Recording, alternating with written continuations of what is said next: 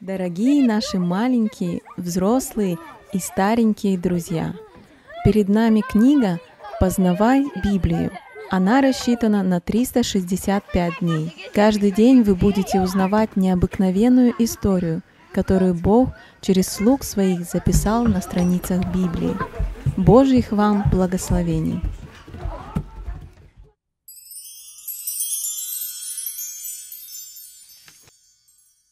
Божье обещание Аврааму. Богу понравилось, как поступил Авраам. Он сказал ему, «За то, что ты доверяешь мне, я дам тебе гораздо больше. Подними глаза твои, посмотри к северу, к югу, к востоку и западу.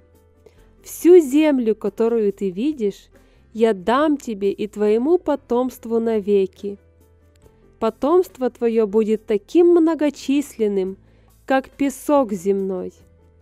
Встань и пройди по всей этой земле и обойди ее вдоль и поперек. Это была очень радостная весть для Авраама. И Авраам встал и пошел в Хеврон, и раскинул свои шатры у Дубравы Мамре.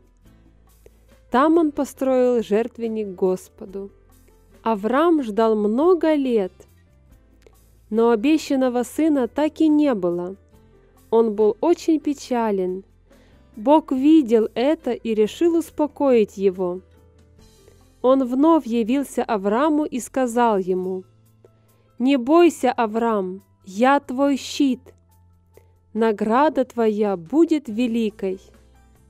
Он показал ему звездное небо и сказал – я сдержу свое обещание.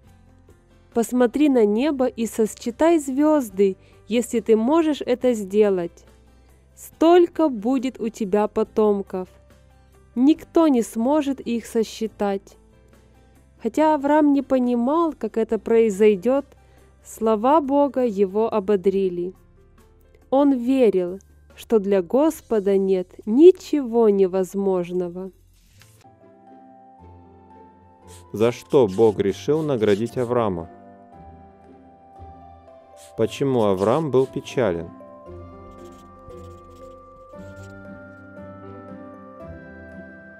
Какую награду Бог приготовил Аврааму?